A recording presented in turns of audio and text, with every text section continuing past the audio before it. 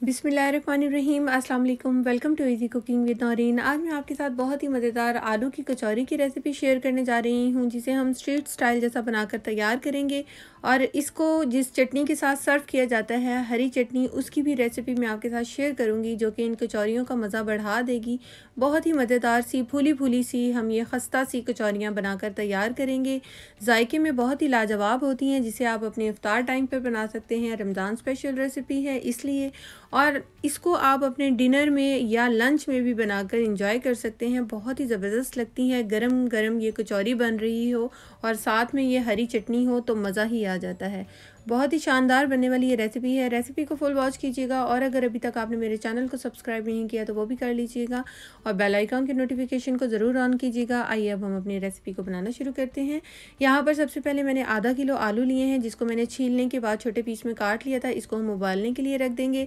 और यहाँ पर दो कप जो है मैंने आटा लिया है। सिंपल गेहूँ का आटा मैं इस्तेमाल कर रही हूँ। इसमें आप चाहें तो मैदे का भी इस्तेमाल कर सकते हैं। वन टी मैंने इसमें नमक डाला है और टू टेबल स्पून में यहाँ पर जो है ऑयल के डाले हैं मैंने और इन दोनों चीज़ों को अच्छी तरह से मिक्स कर देंगे और इसके बाद हम इसको नीम गर्म पानी से बिल्कुल हल्का सा गुनगुना सा पानी होना चाहिए, जिसे हम ये आटा गूँधेंगे और आटे को हमने नरम डो गूंदनी है हमने इसकी और सॉफ्ट डो होनी चाहिए और जितनी अच्छी लचकदार ये सॉफ्ट डो गूंदेंगे, उतने ही मज़ेदार करारी करारी सी ये मज़ेदार सी कचौरियाँ हमारी बनकर तैयार होती हैं। और इसको जो है बिल्कुल भी हार्ड नहीं होना चाहिए, वरना जो हमारी कचौरियाँ हैं वो ख़राब हो जाएँगी। ये देखिए, इतना नरम हमने इसको गूंदना है, जिस तरह से हम घरों में आम आटा गूंदते हैं, बिल्कुल सेम उसी तरीके से हम गूंदेंगे। लेकिन थोड़ा सा हम इसको अच्छी तरह से मज़ीद नीट करेंगे, ताकि ये अच्छे तरीके से इसके अंदर जो है लचक पैदा हो जाए। और इसको हम ढक कर रख देंगे तकरीबन आधे घंटे के लिए। और अब हम नेक्स्ट तैयारी कर लेते हैं। यहाँ पर जो है आलू अच्छे से जो है उबल चुका है। इसका पानी हम निकाल देंगे और आलू को हम ठंडा होने के लिए रख देंगे। यहाँ चटनी बना लेते हैं, जिसके लिए हाफ़ पंच मैंने हरा धनिया लिया है वन टीस्पून ज़ीरा है, दो लहसुन के जवे, चार अदद हरी मिर्चें, एक छोटे साइज़ का टमाटर है और दस से बारह पुदीने के पत्ते मैंने लिए हैं। इन तमाम चीज़ों को हम मिक्सी जार में डालेंगे या ग्राइंडर जार में डालेंगे। और उनको हम पीस लेंगे। अच्छी तरह से हमने इनको कटिंग करके डालना है ताकि इजीली पिस सके। और अब हम यहाँ पर सबसे पहले ऐड करेंगे नमक, जो कि मैंने लिया है तकरीबन वन फोर्थ टीस्पून के करीब और one tablespoon lemon juice डालेंगे। थोड़ा सा पानी डालेंगे ताकि इसका अच्छा सा स्मूथ सा टेक्सचर हम बना सकें। और ये अच्छी तरह से पिस जाए। ये देखिए कितने ज़बरदस्त तरीके से ये पिस चुकी है। हमारी चटनी रेडी हो गई है। इसको हम अलग बोल में निकाल कर साइड पे कर देते हैं। यहाँ पर हम आलू की स्टफिंग की तैयारी कर लेते हैं, जो कि कचौरी में हमने करनी है। और आलू ठंडे हो चुके हैं, इसको अच्छी तरीके से हमने मैश कर लेना है। आलू का दाना नहीं रहना चाहिए, अच्छी तरीके से हमने आलू को जो है मैश करना है। और ये देखिए, इस तरीके से हमने आलू बहुत अच्छे तरीके से मैश हो चुके हैं। और अब हम इसके अंदर मसाले ऐड करते हैं, जिसमें वन टीस्पून जो है मैं नमक के ऐड कर रही हूँ।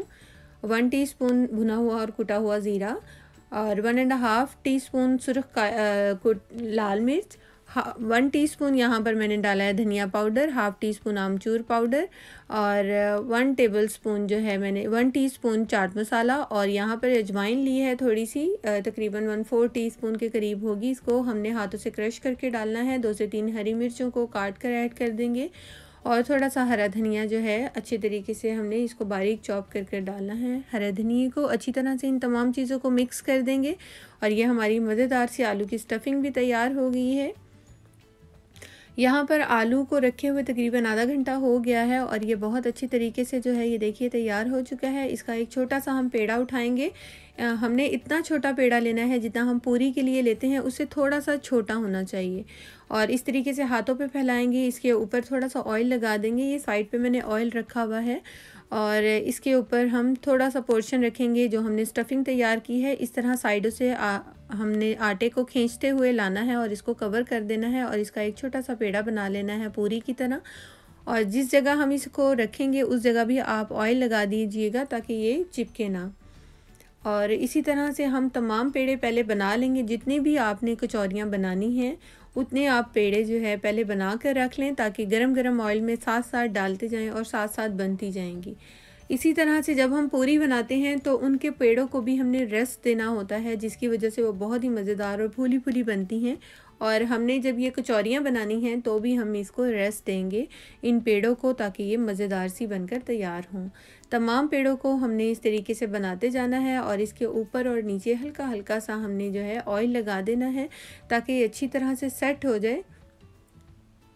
हमने इसमें खुश काटा बिल्कुल भी नहीं इस्तेमाल करना। इसको कवर करके तकरीबन 10 से 15 मिनट हम ज़रूर रखेंगे। और इसके बाद हमने जहाँ पर इसको बेलना है या बनाना है, बढ़ाना है इसको, वहाँ पर जो है ऑयल लगा देंगे। और यहाँ पर इसकी सरफेस पे मैंने जब ऑयल लगाने के बाद इसको आप बेलन से भी बेल सकते हैं और हाथों की मदद से भी कर सकते हैं। हाथों से भी बहुत ही इजीली ये फैल जाएगी। और इस तरह से हमने इसको नॉर्मल सा साइज़ इसका रखना है, कचौरी जैसा, कचौरी इसका मतलब थोड़ा सा मोटा होना चाहिए। जिस तरह हम पूरी बनाते हैं, पूरी बहुत ज़्यादा बारीक होती है, लेकिन ये बारीक इस तरह नहीं होगी, ज़्यादा बारीक करेंगे तो इसकी स्टफिंग खराब निकल जाएगी बाहर।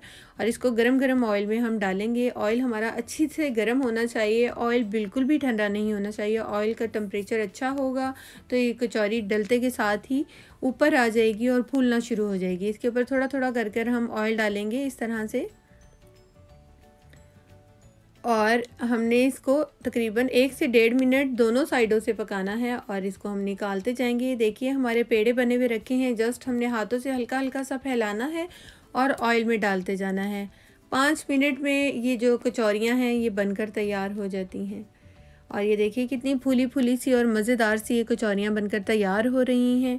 अभी तो रमज़ान है तो इसको बनाकर हम रख देंगे थोड़ा सा और अगर मतलब लंच में या डिनर में आप बना रहे हैं तो आप ताज़ा ताज़ा बनाते जाएँ और इस चटनी के साथ सर्व करते जाएँ तो बहुत ही ज़बरदस्त लगती है। यहाँ पर हमारी कचौरियाँ बनकर तैयार हो गई हैं। मैं आपको चेक करवाती हूँ कि ये कितनी ज़बरदस्त बनकर तैयार हुई है। इसकी स्टफिंग चेक कीजिए, कितनी आला है और बहुत ही गरम गरम और बहुत ही ज़बरदस्त लगती हैं ये। इसको आप अपने रमज़ान में ज़रूर ट्राई कीजिएगा। मुझे अपना फ़ीडबैक दीजिएगा कि आपको मेरी रेसिपी कैसी लगी और अगर थोड़ी सी भी अच्छी लगी होगी तो मेरे चैनल को सब्सक्राइब करना तो कभी मत भूलिएगा। थैंक्स फॉर वॉचिंग अल्लाह हाफिज़।